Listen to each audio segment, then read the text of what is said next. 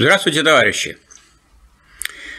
Тема сегодняшнего ролика звучит так. Понятие истины и ответы на вопросы. Ну, как бы вроде разнородные темы или разнородные проблемы.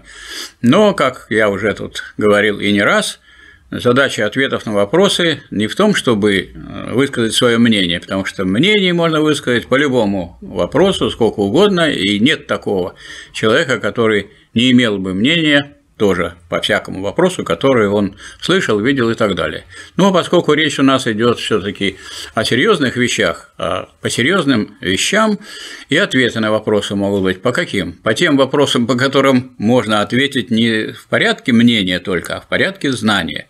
И ясное дело, что как бы человек не был там разносторонне образованный, какие бы у него ученые степени э, ни были и звания, все равно он, так сказать, все охватить не может, и поэтому я вот с удовольствием читал многочисленные комментарии э, к тем роликам и разведопросам, которые вывешены с моим участием благодаря вот команде Дмитрия Юрьевича Пучкова, вот, и повысил свою квалификацию, а ответить, конечно, я могу только на некоторые, на те вопросы, э, на которые ответ я не просто знаю, а ответ, чтобы был научный, то есть был ответ, который соответствует истине, а не потому, что у меня есть вот такое мнение.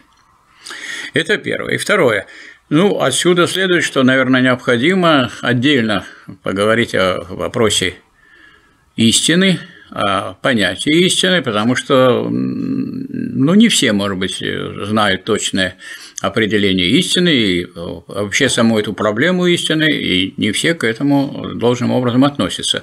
Если взять э, науку логики Гегеля – этот фундаментальный труд великого немецкого философа, диалектика, он там говорит, сейчас, говорит, утрачено вообще э, отношение к истине великой. Все говорят, ну что есть истина? Посмотрите, в самом предисловии к этому произведению говорится, что истина, она не в почете, и у нас сейчас такая же картина. Что у нас в почете? Во-первых, мнение всякого рода. Вот мнение, особое мнение особенно. У меня вот может быть мнение и по химии, и по радионуклидной диагностике, и может быть у меня мнение по выращиванию риса. А также у меня мнение о географических открытиях, какие были сделаны в XIII веке и так далее. То есть мнение это мнение, а знаний у меня гораздо меньше, и круг этих знаний, конечно, так широко не распространяется. Так вот сейчас, ну, самым шиком считается высказать особое мнение, еще и особое. А даже на самом деле должно быть хорошо бы, если бы нам дали бы, ну, пусть не особое, а знание. А знание, оно одно, оно не может быть особым. Знание носит всеобщий характер, поскольку это знание. А знание предполагается, что это знание истинное, а а не ложное знание. Это раз. Второе, вот, говорят, мы вот сейчас проводим дилетантские чтения, у нас и журнал есть, вот эхо издает дилетант. А кто такой дилетант? Дилетант – это тот человек, который в этом вопросе не разбирается. Давайте, говорит, соберем дилетантов, будем обсуждать, и вы присоединяйтесь к этому обсуждению. И вот, значит, одни дилетанты слушают других дилетантов, собираются значит, и обсуждают, приходят к каким-то дилетантским выводам, и цена этим дилетантским выводам какая? Но если это дилетантские выводы, и люди сами знают, что они дилетанты, и говорят, и объявляют себя дилетантами, цена этим дилетантским выводам – грош. Но поскольку это вроде бы вещается и широко распространяется, то вот благодаря этому вещанию, распространению, дребезжанию, там сказать, и восклицанию э, цена этих самых дилетантских выводов повышается. Поэтому оставляем в стороне дилетантство, оставляем в стороне мнение, займемся знанием. А знание – это знание истинное. А что такое истина? Есть очень старое философское определение истины. Истина есть соответствие понятия объекту. Если вы понятие имеете соответствующие объекты, значит, это у вас истинное понятие, а если нет, то нет.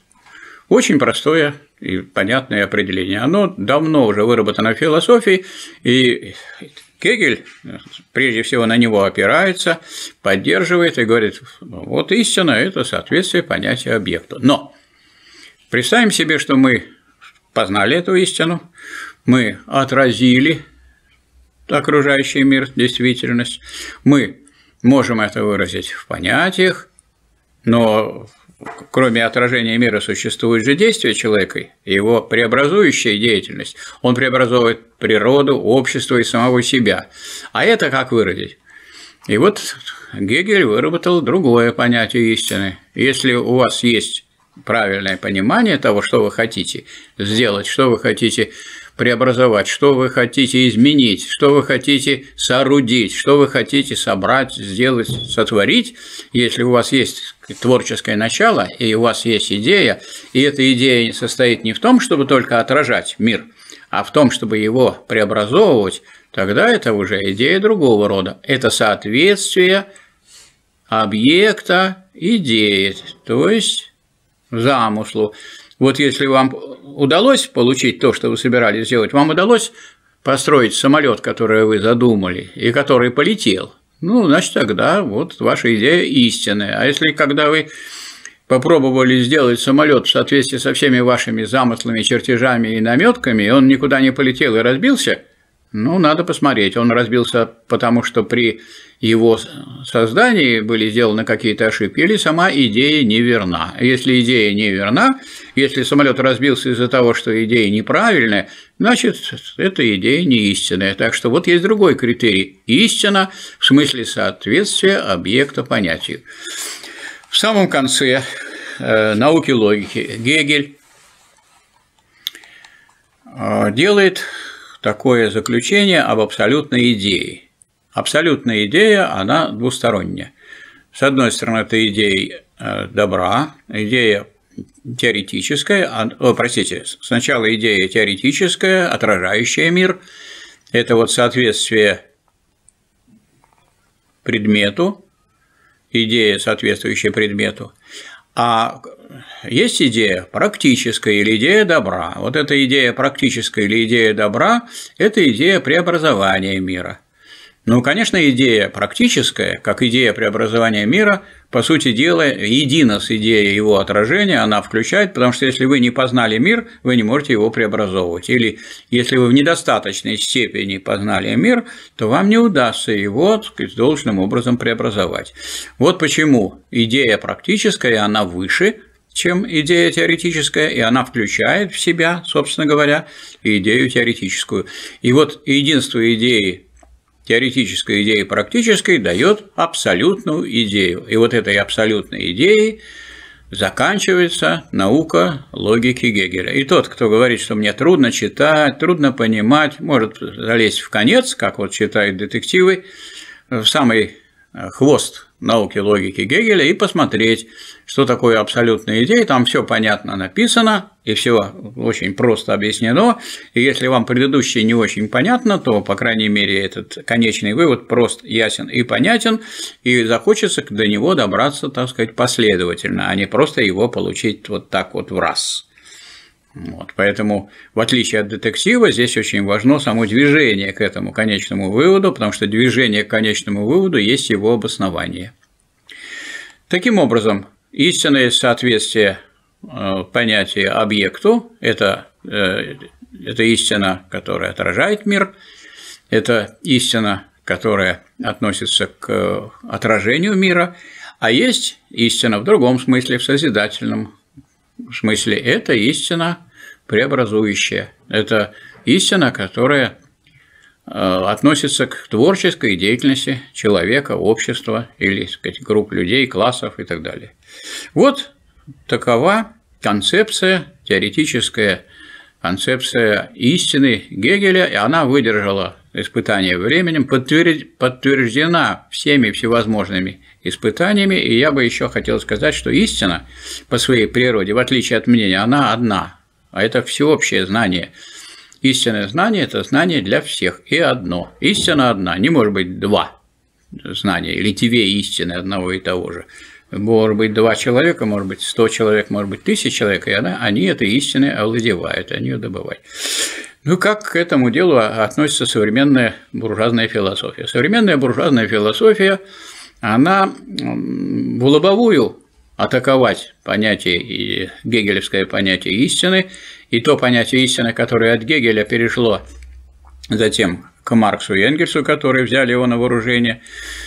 Э, Маркс и Энгельс разработали диалектический материализм, сохранив этот критерий истины и усилив, потому что если у Гегеля есть понятие объективности, то для Маркса и Энгельса объективность означала материю, и поэтому то, что относилось к объективному миру у Гегеля, и то, что он считал тоже э, плодом идеи, абсолютной идеи и творческой деятельности этой идеи, э, Маркс и Энгельс объявили материей и стали считать материей, отбросив как ненужную так сказать, предпосылку, предпосылку о некой абсолютной идее. А вот дальнейший ход, э, следовательно, он носит такой уже материалистический характер.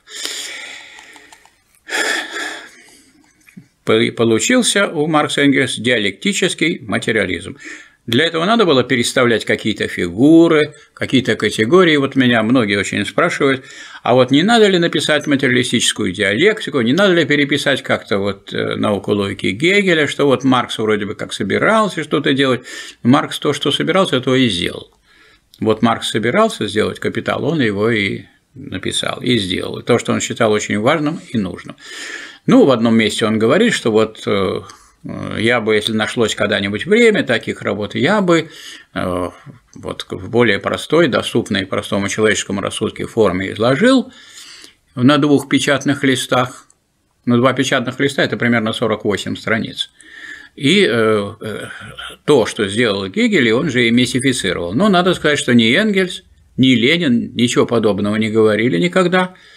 Вот они говорили о том, что нужно перестать третировать Гегеля как дохлую собаку, и нужно вооружиться тем, что сделал Гегель, и не заниматься перетряхиванием и перепутыванием костей скелета, да еще и, так сказать, э, мертвых, если вы их начнете отделять одно от другого, то есть вы само выведение категорий, которое есть у Гегеля, оно не может быть другим. Это выведение категорий допускает другое истолкование, не идеалистическое, а материалистическое. Об этом прямо говорит Ленин. Возьмите, откройте его конспект науки логики, это 29-й том полного собрания сочинений, там Ленин пишет, что я вообще стараюсь читать Гегеля материалистически. То есть вот, а первая начальная вообще категория какая? Бытие. Она звучит материалистически. Начинаем с бытия. С какого? С чистого. Почему с чистого? Ну, потому что мы ничего, кроме того, что оно бытие, в самом начале еще не успели сказать и не можем еще сказать. А вот если вы еще что-то скажете, это уже не будет чистое бытие, это будет просто бытие. Некоторые товарищи говорят, вообще не с ничто. Ну, потому что если вы начнете с ничто, то раз вы с него начинаете, то оно начало. А раз оно начало, то оно есть. А раз оно есть, оно не ничто, а бытие. Поэтому все попытки у какое-то другое начало установить ничто, я, например, Гегель говорит, давайте, говорит, вот вы про «я» все знаете, давайте «я» поставим в начало. На самом деле вы ничего не знаете про то «я», которое в начале. Раз оно в начале, о нем вы можете или успели сказать только то, что оно есть, и больше ничего. А вот поскольку вы про бытие, чистое бытие, ничего не можете сказать, кроме того, что оно есть, или кроме того, что оно есть, вы ничего не можете сказать, то вы приходите к мысли о ничто. То есть ничто – вторая категория. И так сказать, попытки переставлять как-то категории, которые есть в философии. Есть вот люди, которые говорят, надо все переделать, но никто так сказать, не переделать не мог и перестроить не мог. А все попытки э, вытаскивать какие-то отдельные кирпичи из гегелевской системы они их чему доброму привести не могут, потому что система потому диалектическая, она и система, что из нее нельзя э, вытаскивать какие-то звенья, потому что каждая следующая категория получается в результате снятия предыдущей. А снятие – это отрицание с удержанием, удерживается здесь. Я смотрел, вот иногда в э, субтитрах написано отрицание содержания.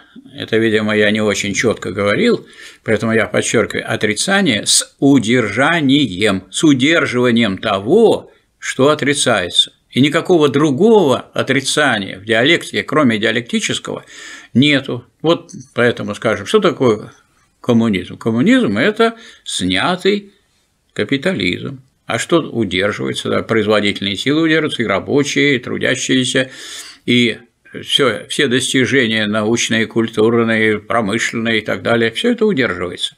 Поэтому, э, скажем, иногда поют интернационал, неправильно переводят, что весь мир насилием мы разрушим до основания, а затем мы наш мы новый мир построим. И как вы собираетесь строить свой новый мир, если вы все разрушите? А, а какой правильный перевод? Весь мир насилия мы разроем до основания, а затем мы наш новый мир построим. Тут рифмы есть, а там даже рифмы нет. Поэтому если люди понимают, что такое отрицание диалектическое, то это всегда снятие, не зряшное отрицание, а не э, сказать, разбивание, не растаптывание, не уничтожение, вот, не разбрызгивание и так далее, а это удержание всего того богатства, которое было создано человечеством за все годы своего существования и столетия своего существования. Вот почему э, этот ход движения от простого к сложному, он э, имеет вот такой ритм. Некоторые спрашивают, а что такое сложное нам понятно? Сложное – это сложное из простых, а простое что такое? Простое только относительно простое. Вы же понимаете, что каждое простое тоже сложное из простых, поэтому это относительные понятия. Если вы берете две категории, одна более развитая, другая менее развитая, то они соотносятся друг с другом как простое и сложное. Вот более развитое – это сложное, а менее развитое – это простая. Один товарищ очень тонко подметил, вот вы говорите, что развитие – это движение низшего к высшему, простого к сложному, а вот он взял и привел пример, что вот коса развитая, вот у девушки коса, и вот ее расплели, она развитая, развелась. Да, этот пример говорит о том, что если вот взять чисто филологически, то, конечно, бывают такие вот случаи применения этих слов, что они не соответствуют содержанию категории. Что же касается философской категории развития, в отличие от обычного слова употребления, то философская категория развития означает движение низшего к высшему, простого к сложному. Надо сказать, что наши вот слушатели, зрители очень внимательные и говорят, вот вы говорили движение низшего к высшему, простого к сложному, а потом стали говорить движение от простого к сложному, а от низшего к высшему. Можно так сказать? Можно так сказать, но при одном условии, если имеется в виду именно движение низшего к высшему, а не то, что я иду от менее простого к более сложному и так далее. То есть, если я прохожу, какой-то третий двигается от простого к сложному, то не это имеется в виду. Имеется в виду, что само простое развивается в сложное. Вот это, так сказать, то, что касается понятия. Вот таким образом обстоит дело. Что происходит, что происходило в то время, когда люди, воспринявшие э, диалектику Гегеля, стали создавать диалектический материализм, который тоже раз навсегда, как диалектика раз навсегда. А дальше диалектический материализм применять к общественным явлениям, общественное бытие определяет общественное сознание. Тоже, надо сказать, наши зрители и слушатели обратили внимание, что говорят, э, общественное бытие, вот написано у Маркса, определяет сознание людей. Ну, людей, сознание людей – это не одного же человека, не одного индивидуума, поэтому это, это и есть общественное сознание. А что касается одного человека, товарищ сам додумался до того, что раньше э, написал Маркс э, в своей Э, небольшой такой работе о Фейербахе, фрагменте, где он говорит, что человек есть продукт обстоятельств и воспитания. То есть отдельный человек не есть продукт бытия только. То есть нельзя э, так думать, что я есть то, что я ем. Хотя вот вы пойдете в метро и найдете там рекламу. Такая симпатичная девушка нарисовано и написано «Я есть я та, я то, что я пью». Ну, это здорово они рекламируют. А человек есть продукт обстоятельств воспитания. Кто? У меня родители. Как они на меня повлияли, так сказать, родственники. Как на меня повлияли друзья, те люди, которых я встретил на жизненном пути. Человек может принадлежать капиталистическому классу, а служить рабочему классу, как Энгельс, или, может быть, дворянином, как Ленин и Дзержинский, и тоже служить рабочему классу. А декабристы были, между прочим, по своему объективному положению, по положению в производстве, по бытию, они были и меня спрашивают, что вы так вот так внимание такое декабристам уделяете? А потому что это такой выдающийся пример, когда целая плеяда представителей высшего класса, самых умных и самых прогрессивных, увидели дальнейшую перспективу развития человечества, выступили против крепостного права и пожертвовали жизнью своей, вот, начав борьбу за освобождение от крепостного права, от крепостничества трудящихся крестьян. И они, собственно говоря, провозверстники новой эпохи буржуазной. Некоторые вот не уважают буржуазных революционеров. Взяли, например, и выкинули название набережной Робеспьера с легкой руки нашего губернатора. Ну, чем он помешал вам Робеспьер? У нас же сейчас буржуазная власть, вы же буржуазный губернатор. Зачем вы великих буржуазных революционеров, так сказать, выбрасываете и заменяете на какую-то там воскресенскую набережную? На том основании, что там была воскресенская церковь. Ну и что, что там была воскресенская церковь? Никто не против воскресенской церкви. А зачем вы против Робеспьера? Или там, скажем, есть у нас еще Марата осталась улица, еще один буржуазный революционер – не нравятся вам революционеры буржуазные? Но это же не пролетарские революционеры. Сейчас буржуазный строй. Ну так восславьте вы этого самого Марата. Наверное, бы тоже переименовали, но как вот Дмитрий Юрьевич однажды заметил, что, наверное, не будут, потому что раньше эта улица называлась Грязи. Ну, а грязи как-то вот не совсем это сподручно называть. Вот э, так обстоит дело с развитием. Что происходило э, с теми людьми, которые не пошли за Гегелем, не стали изучать гегелевскую диалектику, отстранились от нее? Люди, наверное, те, которые особенно э, сейчас берутся изучать, все понимают, как это сложно. И вот одни представители буржуазной науки убоялись этой сложности, их, наверное, большинство, а другие поняли, что дальше, от, если вы будете изучать Гегеля, то дальнейший путь уже стоит э, непосредственно вплотную э, к приближается к марксизму, к материализму, потому что уже у Гегеля первый том называется «Объективная логика», а второй том «Субъективная логика». Так издавался этот труд Гегеля э, при самом Гегеле, и Гегель в предисловии говорил, что так он устроен. К сожалению, после 1937-1939 годов, когда наука логики вышла в собрание сочинений Гегеля это уже не выдерживалось. Просто три книжечки. Три книжечки. Или одна книжечка, а в ней просто три книжечки внутри.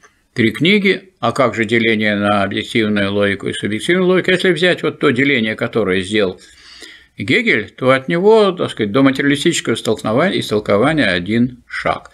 И вот э, гегелевская теория истины, о которой я уже говорил, настолько глубока и сильна, и она действительно истинная теория, что с ней бороться очень трудно. Соответственно, и с, э, в связи с тем, что она перешла в теорию марксизма и марксизма-ленинизма, с этой теорией истины бороться очень сложно. Поэтому у нас вместо какой-нибудь другой истинной теории, такой всеобъемлющей и крупной, есть просто отрицание, скажем, есть антикоммунизм. Но антикоммунизм, он же анти. Ну, анти, на анти ничего не построишь, точно так же, как антифашизм – это не коммунизм. Антифашисты, например, антифашистом можно назвать э, Рузвельта, можно Черчилля назвать. А что, они коммунисты были? Да ну что, вы, Черчилль антикоммунист, ну, я думаю, Рузвельт тоже антикоммунист.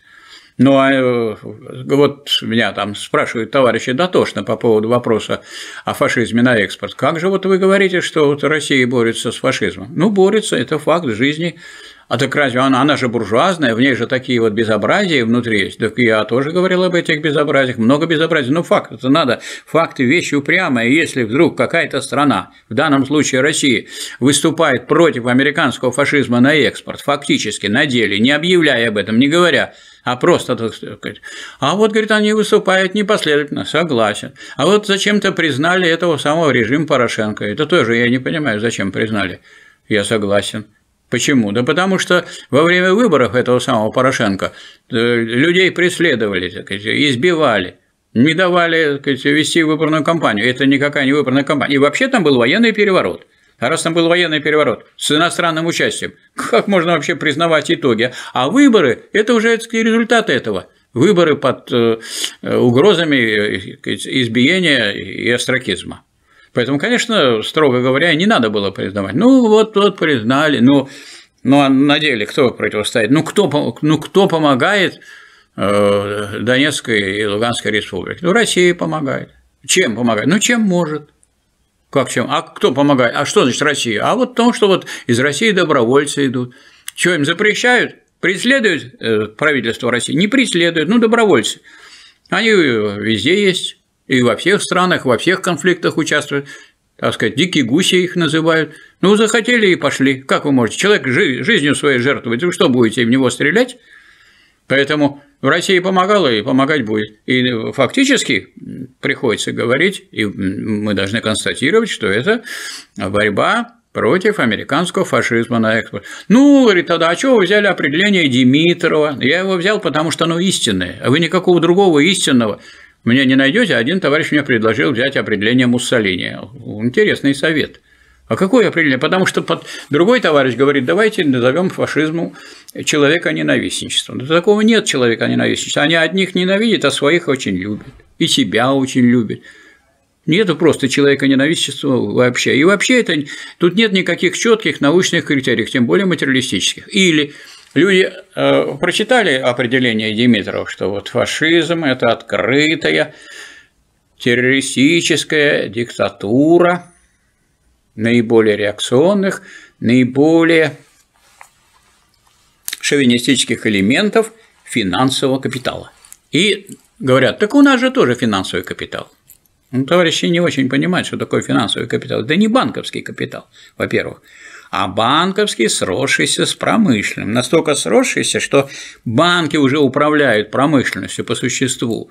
Банки контролируют все потоки, банки все знают, все, на все они влияют. И для этих банков, которые на все влияет и все контролирует, и которые, там, скажем, какой-нибудь крупный частный банк в Америке больше, чем вся наша банковская система России. И вот эти банки, они чувствуют, что им вот эта выборная система только помеха. И у них есть тенденция такой выбросить всякие, всякие выборы, всю эту демократию, и банки напрямую будут все решать. А вот решать все напрямую – открытая диктатура. Говорят, ну так у нас тоже диктатура. Да, а при социализме разве не диктатура? Да, конечно, диктатура. Ну, всякое государство – диктатура. Как-то странно товарищи делают такие открытия, которые разжеваны у Ленина и многократно повторены. Кстати, меня спрашивают, а нельзя ли, вот вы там прочитали 55 томов Ленина, это долго, а хочется быстрее узнать. Ну, если хочется быстрее знать, пожалуйста, вот э, я приготовил такой сборник, он называется «Главное в ленинизме». Это результат, так сказать, ну, э, такой большой работы, я сделал выжимку из полного собрания сочинений, где главное в ленинизме сосредоточено, где и это вы можете освоить за довольно короткий период. Более того, я тут недавно захожу в интернет, э, набираю главное в ленинизме, и вдруг обнаруживаю аудиокнигу «Главное в ленинизме». Включаю, нажимаю на э, ссылку, и женщина, так сказать женский голос, видимо, машинный, читает книгу сначала до конца, а человек, который это сделал, которого я не знал, для меня это было большим, так сказать, удивлением, неожиданностью. Этот человек, значит, поставил э, фильмы, в которых-то снят Ленин, э, кадры восстания, кадры революции, соответствующие фотографии, и вот такой, то есть можно вообще лежать на диване, ничего не читать и слушать аудиокнигу «Главное в ленинизме». Это для тех, кто любит, а не для все быстрее. Вот можно быстрее, пожалуйста. И вы там можете убедиться в том, что э, разжевано, пережевано и Марксом, и Энгельсом, и Лениным, что всякое государство – это диктатура. Более того, у Ленина разъяснено, почему всякое государство – диктатура, потому что диктатура определяется как власть, не ограничена никакими законами. А какими же законами ограничена э, господствующая власть, если она сама устанавливает закон? Она и не ограничена. А раз не ограничена, то она диктатура.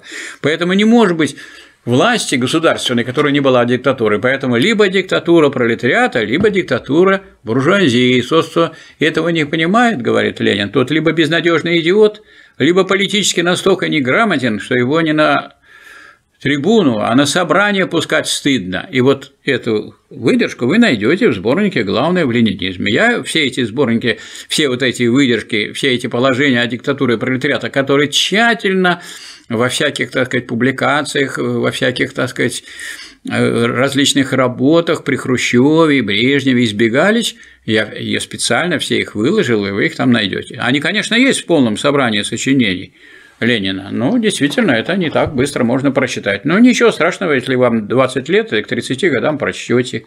Если вам 30 лет, к 40 годам точно прочтете. Вообще, хочу сказать, что я начал считать, а сколько нужно времени, чтобы прочитать? Да не так-то уж и много. За неделю можно прочитать том, если вы больше ничего не читаете.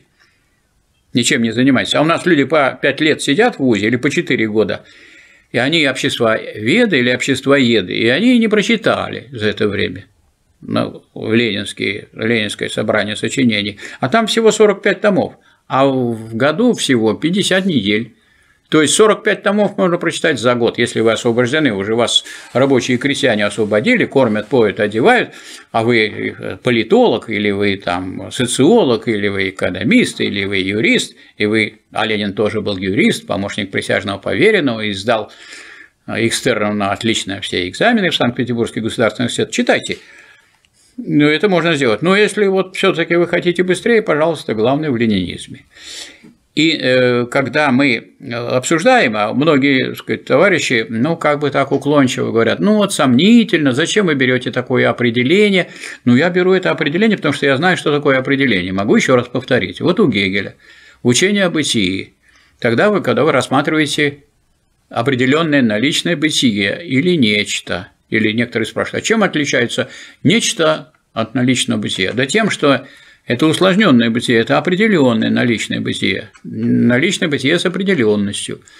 И это не такое наличное, определенное наличное бытие, которое уже представлено как становление, а простое. Что значит простое?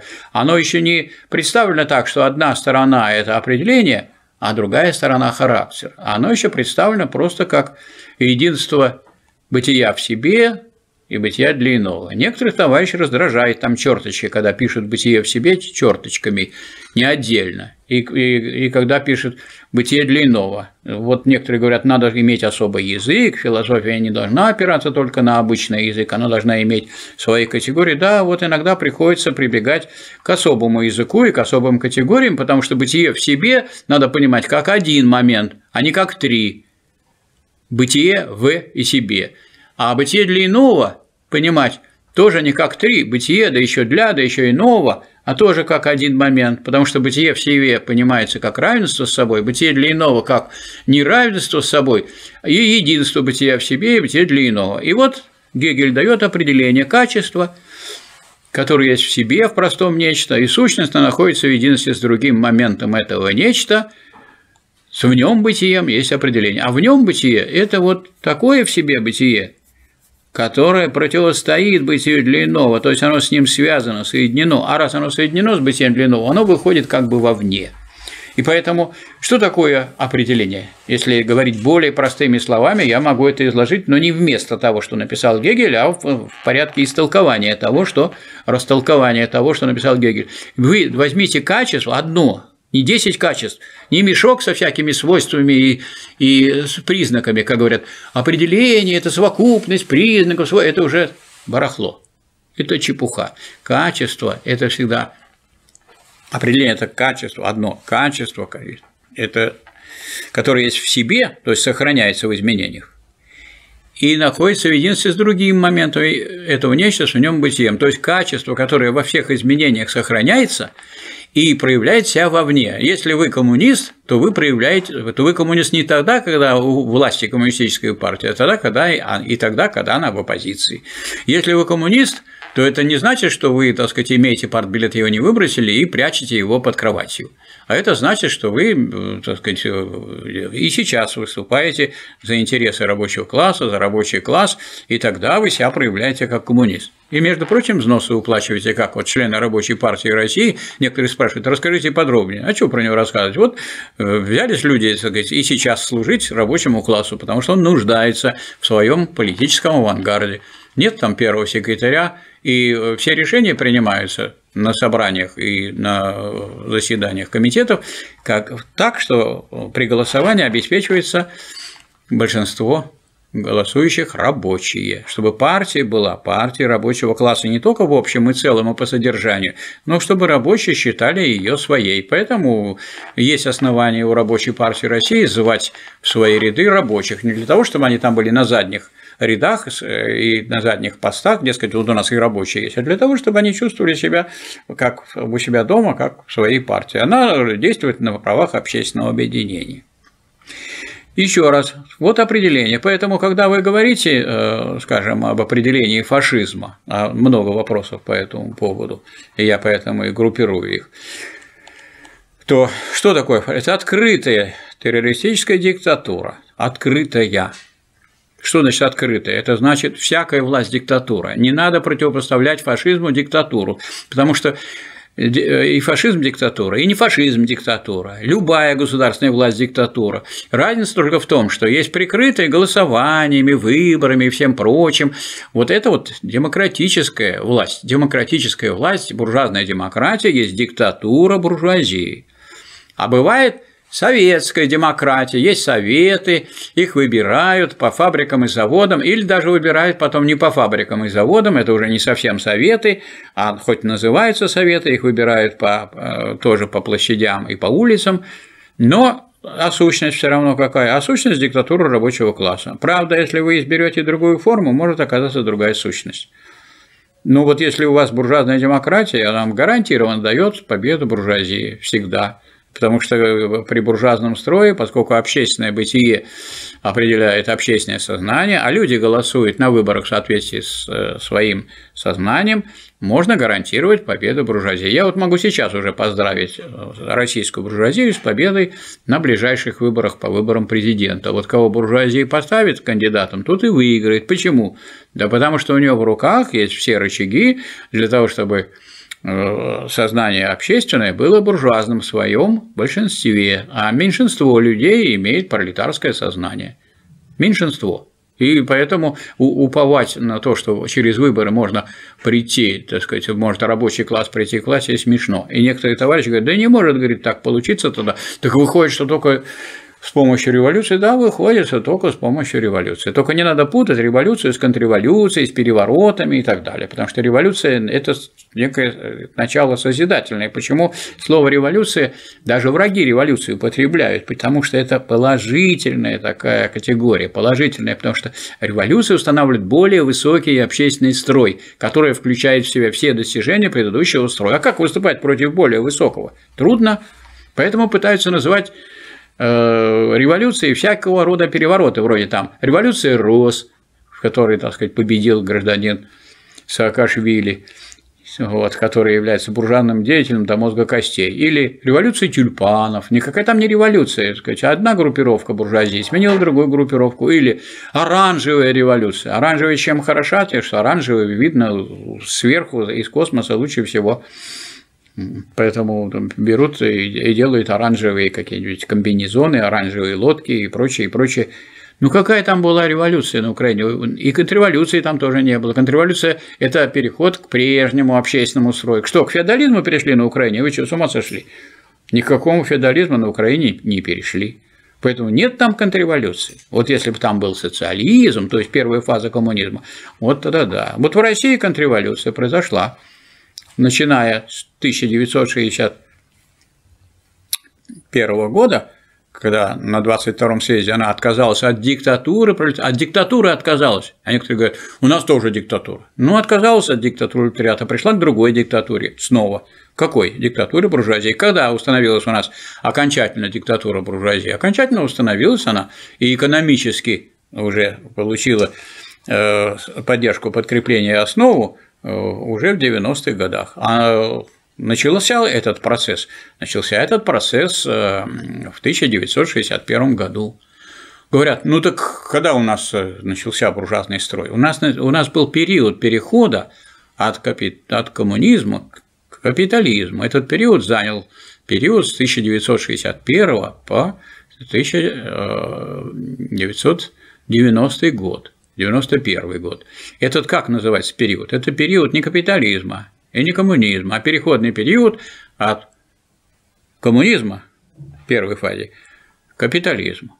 И некоторые товарищи, вот многие очень запутываются, говорят, ну что вы называете Китай социалистическим, ну что вы называете Кубу социалистической, почему вы называете Лаос социалистическим? Потому что социалистическая страна по определению – это страна, в которой установлена диктатура пролетариата. Вот те страны, которые называются социалистическим, а именно Вьетнам, социалистический, так и называется, Социалистическая республика Вьетнам, или Народная Китайская Народная Республика. У него в программе партии стоит диктатура пролетариата. Или Лаосская Народно-Демократическая Республика, это тоже там установлена диктатура пролетариата. Кубинское государство, Куба, там тоже диктатура пролетариата. То есть все те страны, где диктатура пролетариата установлена, называются социалистическими. Если страна социалистическая, это значит, что в ней а либо начался процесс строительства социализма, то есть движение от, от, в экономике от капитализма к коммунизму. И это движение очень долгое. Вот в России оно заняло сколько? 18 лет. С 1917 по 1936. Ну, тут, ну 17 лет. Вот все это время страна наша называлась социалистической, вас это не коробило? Она что, стала называться социалистической, Советский Союз стал социалистическим с какого года? С 22 или с 36 -го? С 1936 года это было уже общество, в котором построен социализм, другими словами, построен коммунизм, но в первой фазе, с родимыми пятнами старого строя, с родимыми пятнами капитализма. Вот что построено было у нас здесь. Но можно было называть страну социалистической, если вы хоть внимательно э, следите за этим, а что дает изучение науки логики Геля, внимательность вообще к понятиям. Надо, если вы берете какое-то понятие, то вы должны его смысл понимать, а не просто, так сказать, вот задавать вопросы и, так сказать, возмущаться, что это, почему это, социализма там нет, а говорите социалистическое. Потому что социалистическая называется страна тогда уже, когда нет социализма, а власть уже диктатура пролетариата. А вот когда будет там построен коммунизм в первой фазе, тогда это будет не просто социалистическая страна, а это будет уже страна, в которой коммунизм имеется в первой фазе, и социализм построен. В этом отношении у нас только одна страна социалистическая есть сейчас, в которой построен социализм. Это какая страна? Это Корейская Народно-Демократическая Республика. А много у нас таких стран было раньше? Много, потому что Советский Союз был страной, в которой, социалистической страной, в которой был построен социализм. Чехословакия была социалистической страной, в которой был построен социализм. ГДР была социалистической страной, в которой был построен социализм. А Польша не была страной, в которой был построен социализм, потому что они не коллективизировали сельское хозяйство, поэтому у них был в городе, так сказать, социалистический уклад – а в деревне буржуазный уклад, и они находились и болтались в переходном периоде, и болтались до того периода, пока обратно не ушли в капитализм. А может быть обратное попятное движение от э, первой фазы коммунизма назад. Да мы специальный ролик сделали, специальный разведопрос тут здесь был по поводу переходного периода от коммунизма к капитализму, поэтому посмотрите его. И мы рассматривали вот это движение от коммунизма к капитализму назад. Никто не гарантирует. Люди говорят, а где гарантии, что это удержится? Гарантия одна – классовая борьба. Если рабочий класс перестал бороться, если он сам себя убаюкал, или его идеологи убаюкали, или он решил, что можно ничего самому ничего не читать, а доверять своим вождям, то надо вспомнить, что писал Ленин и говорил, что в экономике и в политике тот, кто верит на слово в экономике и в политике, тот круглый дурак. Я очень обиделся первый раз, когда до этого дошел, изучая Ленина, а потом дошел до другого места. Кто в экономике и политике верит на слово, тот круглый идиот. Поскольку я не захотел больше быть идиотом и дураком, я больше в политике и в экономике никогда никому не верю. Надо все проверять и перепроверять. Ну, написал такую глупость, так сказать, или сказал Хрущев, что у нас, значит, диктатура пролетариата изжила себя. А классы еще есть, а классы остаются. Они же тогда не будут полностью уничтожены без диктатуры пролетариата. Это у Ленина написано в Великом почине. И что тогда голосовать за это? Голосовали делегаты 22-го съезда. Они соображали, за что голосуют. Они голосовали против той программы, которая была. Они против той программы, которую партии, которую написал Ленин, голосовали за ту программу ревизионистскую, которую, проект которой написал Хрущев со своими подручными и который по существу э, продолжал троцкистскую линию на разрушение этого социализма. И мы и оказались вот той страной, которая, так сказать, вот брошена теперь на э, волю этого самого буржуазного рынка, который ну, быстро пощипал нашу экономику, и, и у нас теперь Россия 150 миллионов, а был Советский Союз 300 миллионов. Мы были по, и по численности такой же, как США. И на втором месте в мире мы стояли по некоторым позициям, по некоторым позициям на первом, скажем, по космосу. И сейчас мы, между прочим, поставляем в Соединенные Штаты Америки ракетные двигатели РД-180 и от которых они отказаться не могут, иначе их э, ракеты «Атлас» не будут летать. И, э, скажем, вот сейчас договорились с НАСА о том, что будут станцию строить у Луны, а доставка будет обеспечена за счет Российской Федерации. Это благодаря чему? Да благодаря тому, что было создано при социализме. Ну вот я думаю, что это можно вполне усвоить, что такое становление. Мы изучали категорию становления. Переходный период – это становление социализма. Значит, когда идет становление социализма, значит, страна социалистическая? Да. А вы говорите, но тут же много очень капиталистического. Так это же становление, значит, есть другая тенденция к ликвидации социалистического уклада и к тому, чтобы победил уклад буржуазный. Это характеристика становления. Вот, скажем, говорят, ну в Китае же много капиталистов. А у нас что, мало было Непманов, что ли, в 20-е годы? У нас можно было троих э, работников нанять, законно, легально, наемных работников, то есть действовать чисто капиталистически. И в Китае, скажем, есть возможность развивать капиталистическое производство. Но лучше развивать капиталистическое производство, чем никакое, как у нас получается. У нас поуничтожали предприятия, ну так если бы у нас хоть капиталистически что-то развивалось, а у нас пришли капиталисты, которые не э, представляют собой самовозрастающую стоимость, а представляют собой самоубывающую стоимость. Лопаются банки один за другим, и банков у нас нет. Говорят, вот, у нас тоже фашизм, потому что у нас много банков, у нас финансовый капитал. У нас не финансовый капитал, у нас нет банков, которые сращены с промышленностью, потому что что такое банки? Тоже надо знать определение. Определение банка – это такая финансовая организация, которая временно свободные средства в хозяйственном обороте накапливает и направляет туда, где есть в них недостаток в этих самых средствах. Ну, одни, скажем, что-то вот э, сказать, продали, у них деньги есть, но они пока не используются, потому что новых закупки не делают. А банк направляет туда, где есть в этом за маленькую процентную ставку. Ну, сейчас вот процентная ставка в Соединенных Штатах Америки 1,75, а у нас 9. И говорит, мы будем его снижать. Так сколько бы вы ни снижали, это немыслимо по такой ставке получать, потому что по этой ставке не может получить ни физическое, ни юридическое лицо из Центробанка. У нас двухуровневая система, есть банки, так называемые коммерческие. А в чем состоит коммерция? А в том, что они просто берут деньги у Центробанка по ставке 9%, накидывают своих 7% и по 16% предлагают. Где такие предприятия с такой нормой прибыли? Где вы такие видели в России предприятия? Еле-еле люди с концы с концами сводят при нынешних хозяйственников. Тем более, что у нас государственный сектор громадный, а в этом государственном секторе создается 80, простите, 70% волового внутреннего продукта, а никакого плана на этот сектор нет.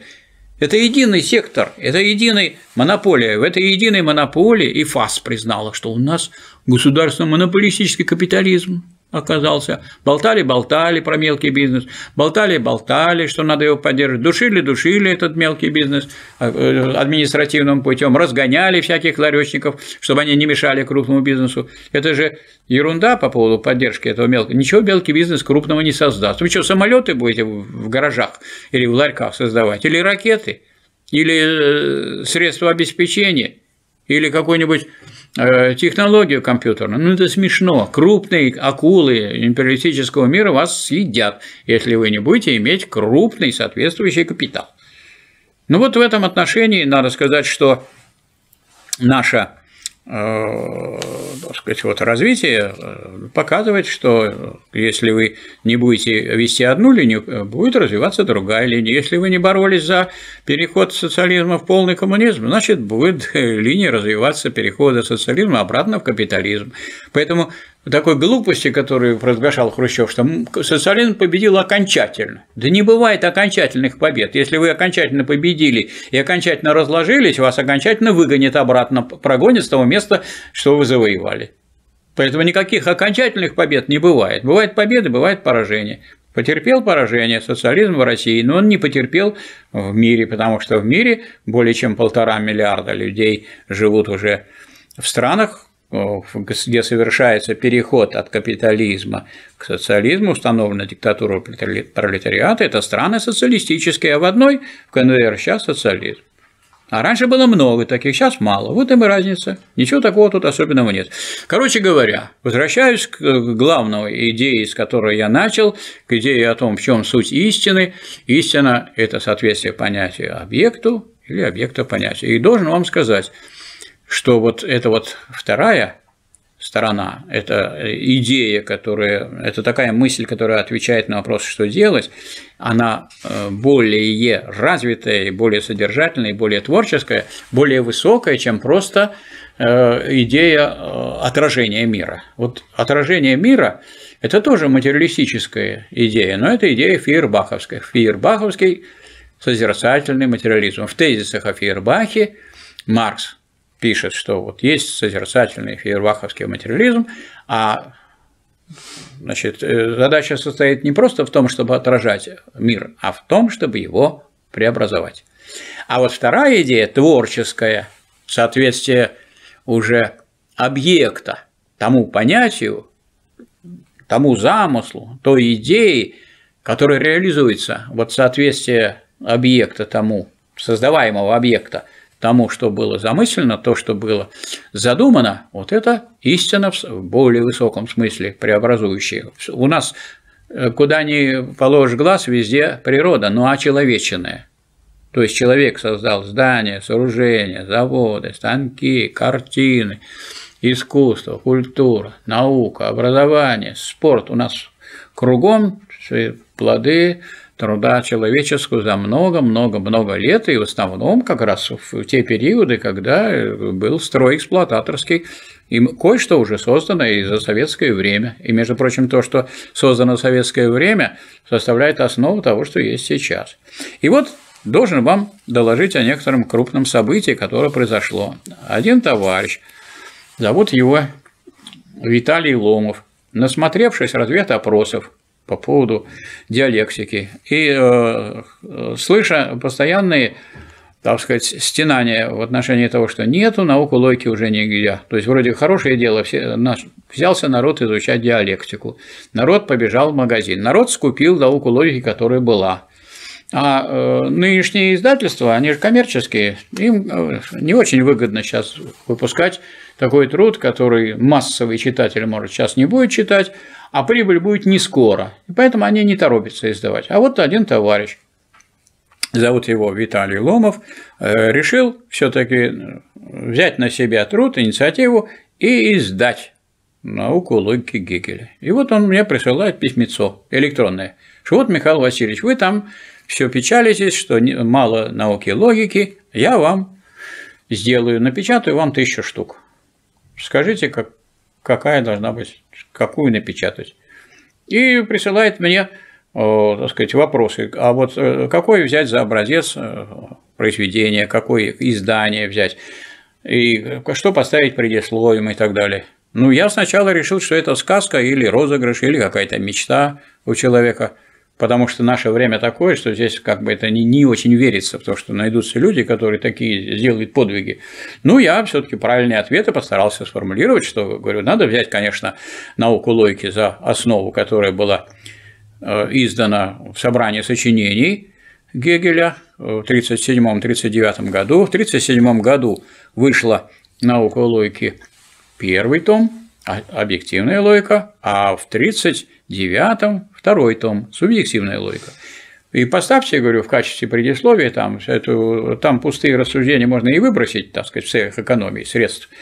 А вот поставьте в качестве предисловия работу Ленина о значении воинствующего материализма, где он говорит, если мы не станем кружком любителей гегелевской диалектики, если мы не будем изучать диалектику Гегеля, материалистически истолковывать и э, применять ее на примере, так сказать, истории, развития науки, техники, общества в том числе, наш материализм будет не сражающимся, а сражаемым. И мы не сможем устоять перед натиском реакции и лжи.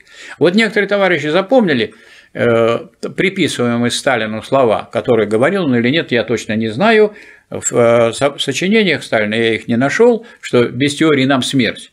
Но вот у Ленина точно вот в этой работе о значении воинствующего материализма. Это одна из довольно поздних работ, это предисловие э, к э, к одному из номеров журнала под знаменем марксизма, где Ленин пишет э, о том, какое значение имеет воинствующий материализм, и что без него мы не сможем устоять перед натиском поповщины, перед натиском реакции, мракобесия и лжи, а вот мы и не устояли. Лекторы спрашивают, а как сделать, чтобы мы устояли? Вот появится у нас снова социализм. Ну хорошо, мы вот создадим снова социализм. Ну так если вы создадите социализм, будете глазами и ушами хлопать и не будете вести классовую борьбу за перерастание социализма в полный коммунизм, если вы не примете во внимание то, что расписал однозначно и ясно Ленин э, в великом почине, что пока не уничтожены полностью классы,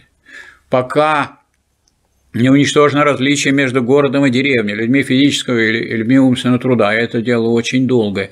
Пока это не произошло, диктатура пролетариата необходима. То есть диктатура пролетариата не только на переходный период от капитализма к коммунизму необходима, а и на весь период социализма, то есть на весь период первой фазы коммунизма. И это написано, разжевано. Некоторые спрашивают люди, так какой у нас тогда социализм строй? Это бесклассовый или классовый? Бесклассовый, если это коммунизм, потому что коммунизм – это бесклассовое общество. А как тогда мы, что тогда мы уничтожаем? Ну, вы же объясняли, что есть противоречие. Значит, какое противоречие, следовательно, есть в первой фазе коммунизма? Противоречие между его бесклассовой природой и не полностью преодоленным, не полностью еще преодоленным делением на классы. То есть деление на классы определено в главном и основном – уничтожены эксплуататорские классы. Нет классов антагонистов – Поэтому это уже дает возможность нам говорить о бесклассовом обществе. Но полностью классы еще не уничтожены. Поэтому неправильно будет сказать, что социализм – классовое общество. А как у Ленина сказано в Великом Почине? Социализм есть уничтожение классов. Социализм и классы поставлены как противоположности. Или социализм уничтожить классы и превратиться в полный коммунизм. Либо классы начнут возвращаться назад, пойдет процесс возвратного класса образования, появится снова эксплуататорский класс, и социализм будет уничтожен. Это все можно понимать. Спрашивают, а в чем практическая ценность диалектики. Так если у нас люди бы разбирались в диалектике, у нас бы не было контрреволюции, не было бы реставрации капитализма, и не было бы огромных жертв, которые потерпел наш народ из-за из нищеты, в которую ввергли трудящихся. И сейчас мы наблюдаем. Вот, пожалуйста, Значит, три года подряд, 13, 14, 14, 15 и 16 сокращается жизненный уровень каждого трудящегося. Как э, сообщила газета «Российская», исследование проведено Академией народного хозяйства государственной службы при президенте РФ, и согласно этому исследованию э, реальный доход, который приходится на одного гражданина Российской Федерации сейчас составляет 90,5% от уровня 2013 года. Дальше. А если вы возьмете заработную плату 2016 года, так вот реальная зарплата сейчас составляет, в 2016 году составляла 92,5% от уровня 2013 года.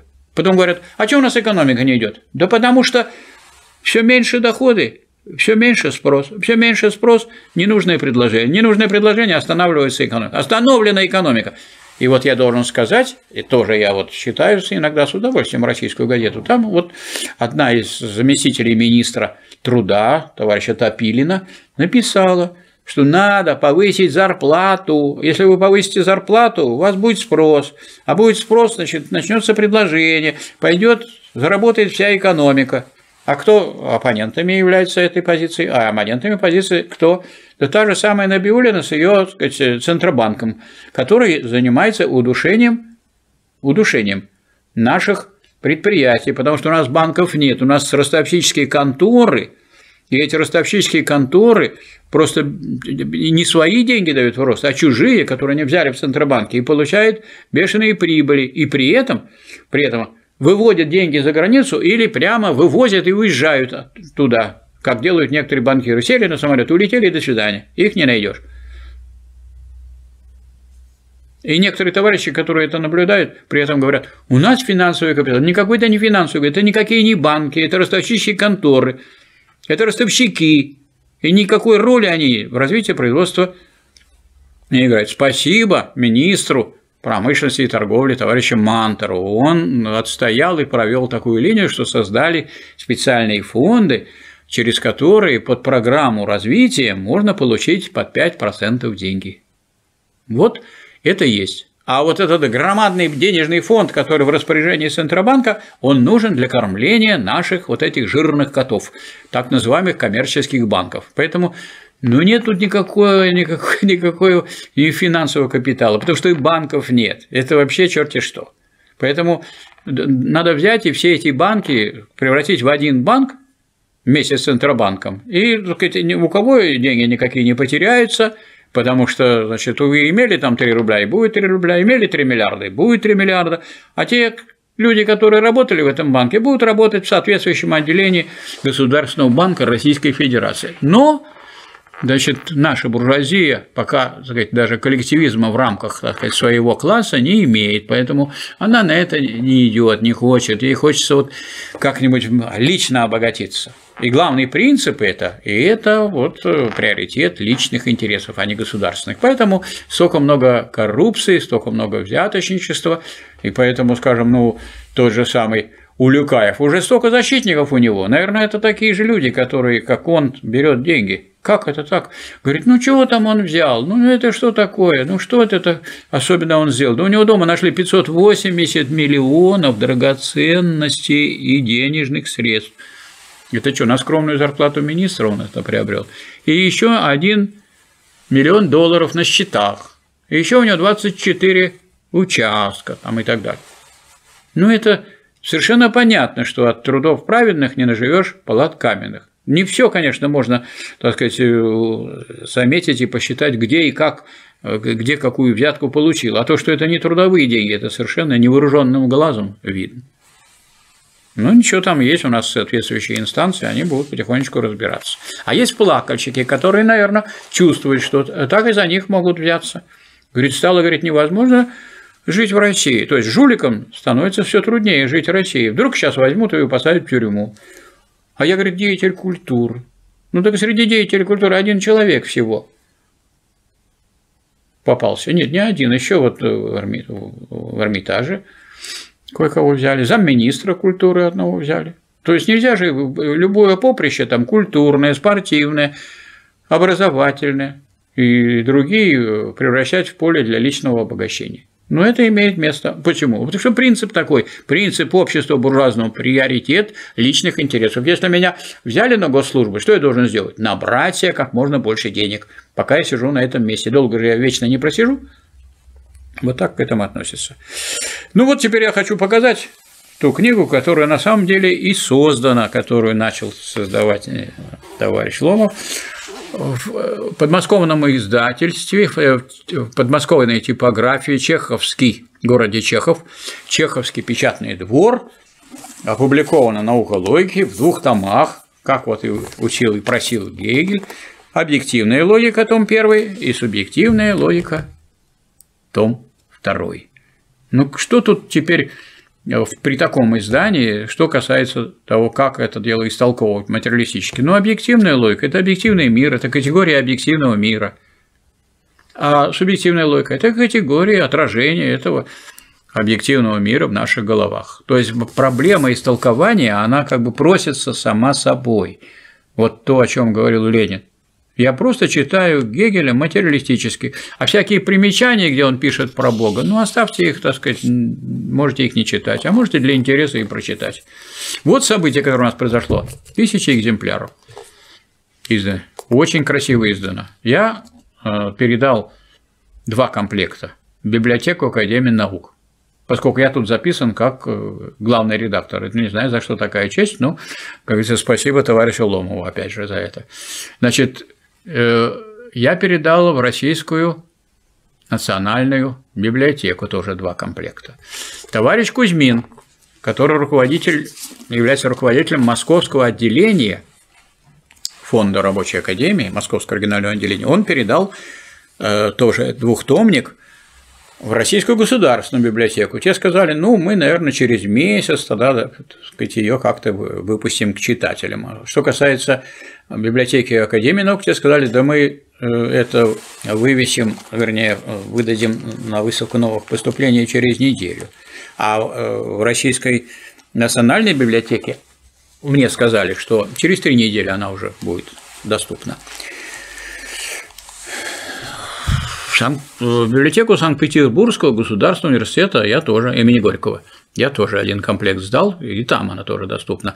И эта книга будет доступна всем слушателям Красного университета, которые могут направлять на имя проректора Красного университета товарища Мордовина Валерия Александровича заявки, а, присылки им наложенным платежом. И, так сказать, потихонечку мы эту задачу будем решать. То есть те, кто систематически и организованно изучают с помощью Фонда рабочей академии и с помощью Красного университета Фонда рабочей академии науку логики Гегеля, диалектику и материалистически истолковывать для, своего, для этого важного дела.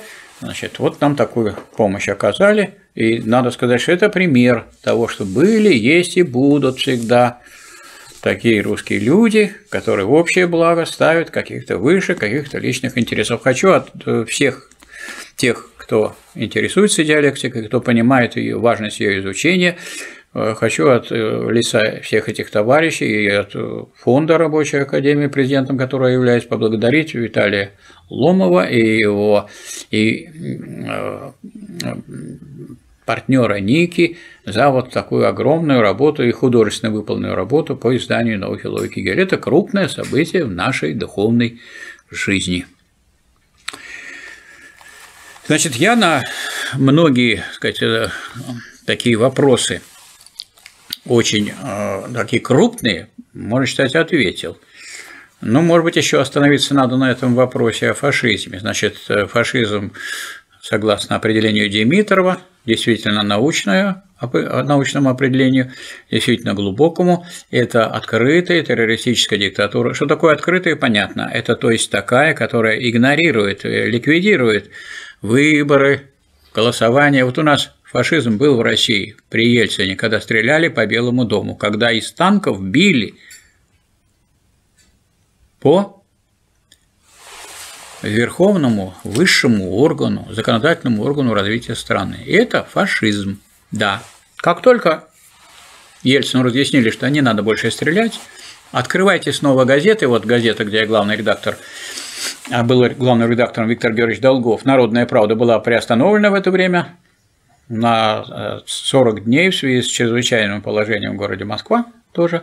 Сказали, пожалуйста, печатайте снова, сколько угодно. Нет, пожалуйста, выступайте, что хотите делайте. У нас очень все свободно. У нас буржуазная демократия. Демократия у нас – это не значит, что все дозволено и все что угодно, и что можно совершать какие угодно действия. Это значит, что в рамках буржуазной демократии, пожалуйста, выступайте, агитируйте. У нас нет даже государством установленной идеологии. Может, марксизм-ленинизм будет скоро господствующей идеологией. Или вот опросы делали. Один опрос – делал Левада-центр. Левада-центр – это что за орган? Это орган, который даже считается у нас официально иностранным агентом, ну, такой добропорядочный, в том смысле, что он объективно и замеряет, и измеряет общественное мнение. Он и замерил, что общественное мнение ставит на первое место там, Ленина и Сталина, несмотря на то, что уже сколько лет у нас капитализм. Ну, а решили сказать, молодежь опрашивать в интернете – но в интернете, прежде всего, и молодежь и сидит. Но оказалось, что дескать, сейчас столетие революции, за какую бы партию сейчас проголосовали, если бы сейчас было, вот вы попали бы опять в 17-й год? За большевиков. Ну, и, так сказать, это факт жизни. И Ленина уважает. Я вот слышал эхо, уж эхо уж точно уж не, не коммунистическая радиостанция. Говорят, там, ну вот э, это как Ленин, который привидел на века. Ну, значит, Ленин устоял, несмотря на все эти ветры. Тем более, что ну вот если бы наши товарищи с Украины, так сказать, ну, так сказать, поосновательнее бы этот вопрос поизучали, они бы, наверное, знали, что если бы не Ленин, Украина не получила бы большую территорию свою, не стала бы самостоятельной страной. Прежде чем она вошла в Советский Союз, она в Советский Союз вошла только прежде, чем она вошла, она была страной достаточно крупной. Что произошло? Ну, вот произошло присоединение, собственно, всей Новороссии. Ну и кто же тогда, как Ленин? Он Ленин, он как бы мать этой Украины, самостоятельный. Ну так и надо э, одеть вышиванку, э, статую Ленина и приходите молиться на него, если вы там самостийно сделали. Ну а вы берете и, так сказать, поэтому его подвергаете поруганию. То это люди безграмотные, темные там. Вот в этом смысле вот жалко, что там проходимцы политические пришли к власти с одной стороны, причем с помощью при поддержке иностранных государств в порядке переворота. И был там какое-то время фашизм. Но теперь там наладили уже у нас, там работают демократические институты, там уже выборы, там уже голосование, там уже все, так сказать, нет, нет такой теоретической диктатуры. А раз так, то там теперь уже не фашизм, а там теперь уже все просто диктатура буржуазии. Какой? Ну, той буржуазии, которая является буржуазией компрадорской. Компрадорская буржуазия – это какая? Которая главный доход имеет от разрушения собственного хозяйства. Компрадорская буржуазия, она проамериканская буржуазия, там, она была прорусской, пророссийской, ее представлял Янукович. А теперь там проамериканская. И поэтому, так сказать, главная цель вообще этого российского, э, украинского государства на сегодняшний день – это ослаблять Россию и, так сказать, по возможности э, мешать, так сказать, ее развитию. Некоторые товарищи спрашивают – а вот, э, может быть, все таки как вы относитесь вот к попытке Труфанова переосмыслить наследие Гегеля? Ну, так и отношусь, что не тратьте время на сказать, чтение пустых, никчемных книг. Этот Труфанов ничего не сделал в науке, а, а сказать, вместо того пытался подсунуть свою книгу вместо вот этого великого гениального труда.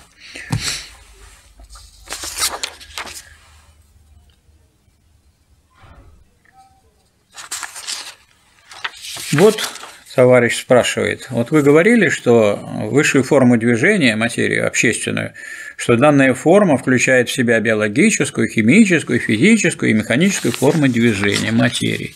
У меня вопрос, возможно ли возникновение такой общественной формы движения материи, которая не включала бы в себя?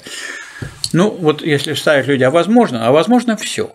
То есть, а марксизм стоит не на почве возможного, а на почве действительного. В этом плане хочу указать на принципиальное различие э, двух, так сказать, концепций. Вот марксизм и, э, и гегелевская философия, понятие истины у Гегеля э, в объективном идеализме и у марксизма, диалектического, исторического материализма, и понятие научности у Поппера. Вот Карл Поппер, некоторые спрашивают, а вот как вы относитесь к писаниям Карла Поппера? Ну, Карл Поппер, он не дошел до того, что сделал Гегель, он не освоил Гегеля.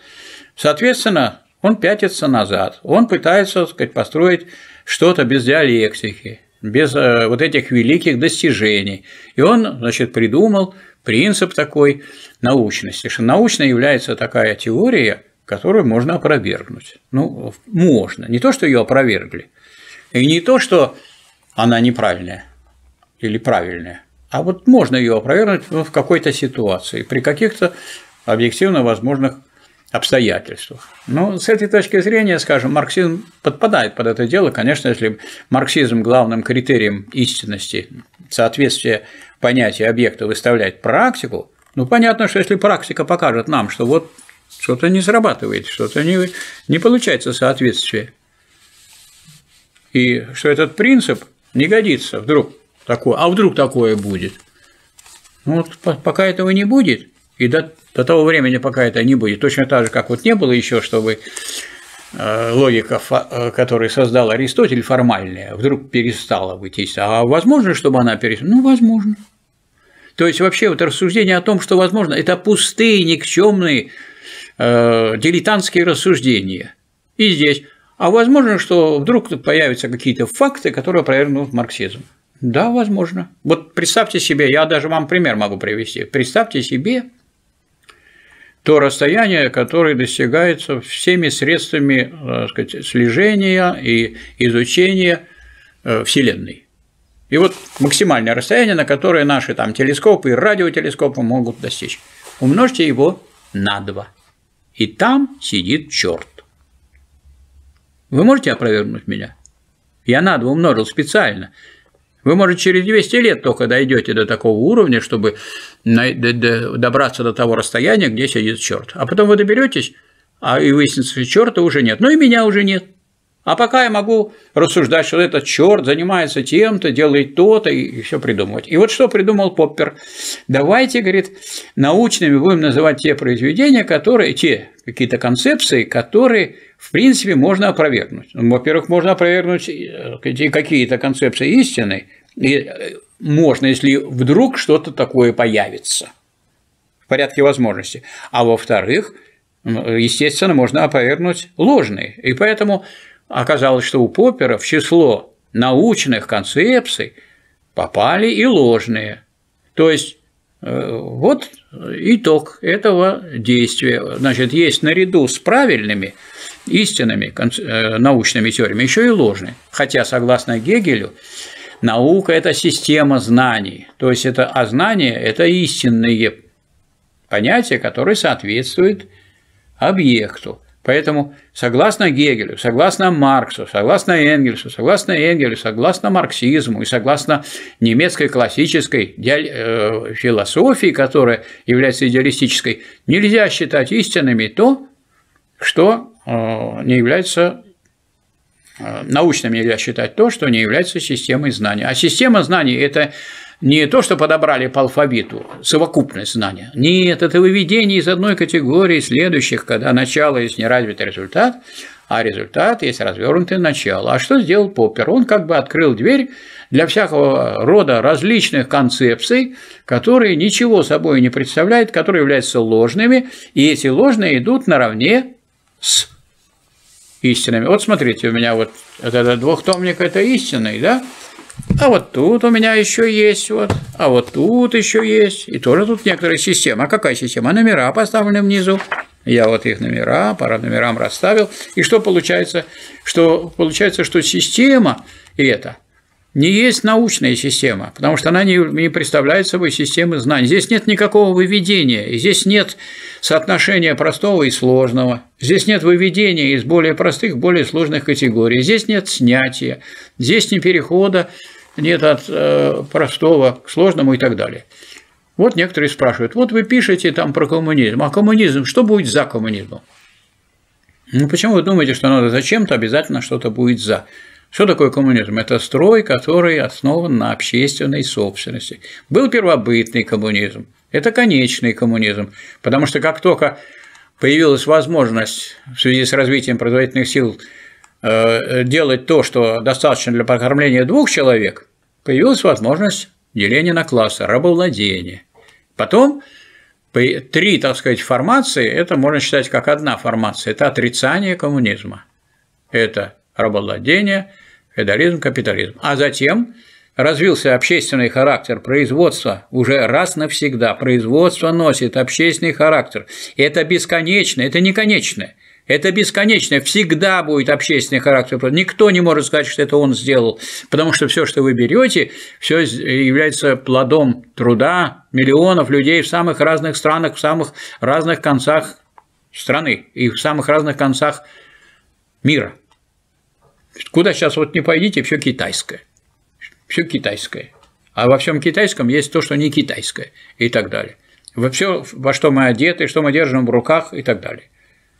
Общественный характер производства, приведение общественного характера э, в соответствии с общественным характером производства общественных отношений тоже называется коммунизм. Это второе отрицание. Отрицание, отрицание. Коммунизм как отрицание частнособственнических формаций, как отрицание капитализма – это не конечный коммунизм, а бесконечный. А бесконечный коммунизм, он кончается? Ну как может кончаться бесконечность? Ну, никак не может кончиться бесконечность. А в чем тут бесконечность? А бесконечное отрицание частной собственности. Вы что, не, думаете, не может быть попыток при коммунизме полном создавать что-нибудь частное? Может быть, оно отрицается но без государства. Не нужно государству, потому что не нужно насилие для того, чтобы делать отрицание в рамках того общества, в котором нет серьезных расхождений в экономических интересах. Раз у нас общая собственность и нет деления на классы, значит, есть общие интересы, Спрашиваю, а какое государство будет? Да никакого не будет государства. А что же тогда будет? А будет коммунистическое общественное самоуправление. А что это такое? Ну вот Энгельс однажды сказал, что там, вот будут люди жить не поглупей нас с вами, они разберутся. Некоторые товарищи хотят, чтобы в подробностях было разъяснено, вот это любили делать социалисты и утописты, Сен-Симон, Курье, ООН. Это было великое дело тогда. Они так разрисовали красиво, что э, коммунизм или как утопия, или социализм как утопия стал привлекательным для людей. Но это все прошло, уже давно имеется научный социализм. И некоторые спрашивают, а можно сказать научный коммунизм? Ну, говорите научный коммунизм. Мне нравится научный коммунизм, говорите научный социализм. Поскольку мы до полного коммунизма еще не дошли, сейчас пока это все равно. Но когда мы дойдем уже до полного коммунизма, я думаю, что тогда наука сделает какие-то новые шаги. Но поскольку коммунизм, второй, который приходит, который обогащен всеми достижениями человечества – за все время существования частно-собственнических формаций, и этот коммунизм навечно. А вдруг это кто-нибудь когда-нибудь опровергнет? Да, а вдруг там придут черти, и черти нас всех съедят. То есть вот такого рода глубокомысленные рассуждения я оставляю в стороне, хотя некоторые думают, что вот когда они придумывают какую-нибудь чушь, это философствование. Но надо сказать, что вот э, судя по тому, Э, что э, написали в своих комментариях наши товарищи, какие вопросы они поставили, это не больше, не столько вопросы, сколько, так сказать, размышления вслух, видно, что наш народ в лице своей лучшей части задумался о будущем. И задумался о будущем не так, чтобы подумать и все, а задумался о том, что надо, чтобы это обдумывание превращалось бы в действие, и чтобы это действие шло бы к тому, чтобы у нас было возвращено народу то, что у него отнято, потому что народ достоин того, чтобы жить в том обществе, где он господин. Спасибо за внимание. До новых встреч.